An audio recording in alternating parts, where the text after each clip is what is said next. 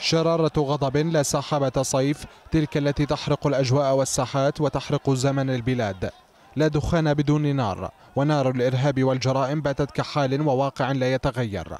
وفي بلاد يصعب التعامل مع الملفات الأمنية الشائكة فيها يحتاج العراقيون لخبرة عملياتية بتوجيه من القائد العام للقوات المسلحة. قيادة العمليات المشتركة تدخل اليوم بيوت الظلام من المجرمين والإرهابيين والخاطفين. تثبت في كل مرة أن العراق فيه بذرة تغيير نحو خطوط الأمان. لكنها الأيام العصيبة التي يواجهها جهاز مكافحة الإرهاب نصرة لإنفاذ القانون.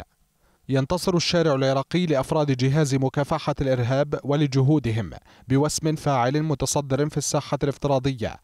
لكن لسان حال النشطاء من كل بيت وفي كل المحافظات يبعث برسالة تعزيز للجهود المبذولة في القضاء على كل مشاهد التوتر والخروج عن القانون. وهي رسالة صوت واحد لجهاز يحمل ثابتا واحدا ألا وهو أمن العراق. وفي أي وجهة وجهت بصرك فإنك ترى أسراب الكتيوشا ملاحقة من جهاز مكافحة الإرهاب.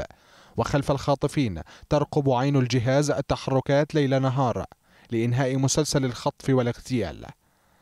مجددا بات الجهاز يواجه أعتى القضايا والمتصدرة منها كالخطف على يد خارجين عن القانون. وهنا تبرز المواجهة الأشد بين آلة حماية القانون وخلايا الفوضى. وفي هذه الأثناء ينفذ الجهاز مهمته في البحث عن الناشط المدني سجاد العراقي في ذي قار كدليل حي على الهدف الأول المنشود. أما الحكومة فهي التي تضع اليد على زناد سلاح مكافحة آلة الموت.